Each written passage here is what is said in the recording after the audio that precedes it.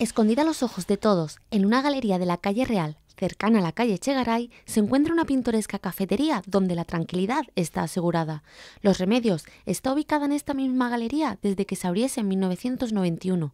Su propietaria, Francisca Fernández, tenía ya en ese momento una tienda de ropa y al quedarse un local vacío junto a la misma, decidió aventurarse en el mundo de la hostelería.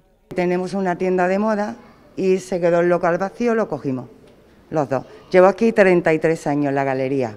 Apoyada por su marido, Francisca emprendió un nuevo negocio junto al que ya tenía. La galería empezó a sentirla como su casa, sin conocimiento alguno sobre este mundo, pero con todas las ganas y la ilusión puestas en su nuevo establecimiento, Los Remedios comenzaba sus andanzas entre cafés, tostadas y zumos.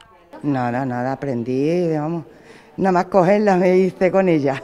Armada con su cafetera, su tostadora y con las ganas como compañera, Francisca sacó adelante día tras día esta cafetería. Con el paso del tiempo y gracias a su trato, Los Remedios empezó a contar con una clientela fija que desde entonces acude a diario a desayunar en este pintoresco e íntimo establecimiento, los comerciantes cercanos a la galería. Viene gente fija que son de la joyería, de la, niña de mi saco, toda, toda la calle real. Los Remedios ha sido muy conocida dentro del mundo cultural. Antes de que el coronavirus irrumpiera en nuestras vidas, en esta cafetería se ofrecía, además de café y copas, una programación cultural más alternativa.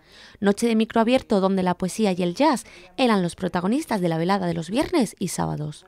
Hacíamos poesía, venía un grupo de chicos a hacer poesía y muy bien, nos iba muy bien, pero claro, ya se acabó todo. Ahí tengo los carteles de las poesías de de todas las veces que le hemos hecho.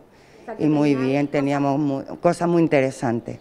La pandemia no solo ha perjudicado este establecimiento en este sentido, sino que los horarios y las limitaciones también han hecho mella en él, como en muchos otros. Sin embargo, esta ceutí no pierde la ilusión y sigue abriendo cada día su persiana para darle el desayuno a sus compañeros de la galería y alrededores. Pese a estar en un lugar escondido, los ceutíes acuden ahí por el trato recibido por su propietaria. Pregunta por mí, soy muy buena persona y la gente que viene son también muy buenas personas, todos. Después de llevar tanto tiempo. Tanto tiempo, por eso no me conoce. Aunque esté muy escondida, la gente sabe dónde estoy.